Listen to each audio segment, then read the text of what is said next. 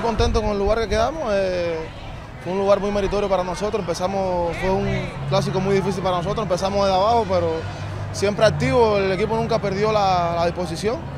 Y como ustedes vieron, pudieron ver, vinimos de abajo y pudimos pasar a la, semifinal.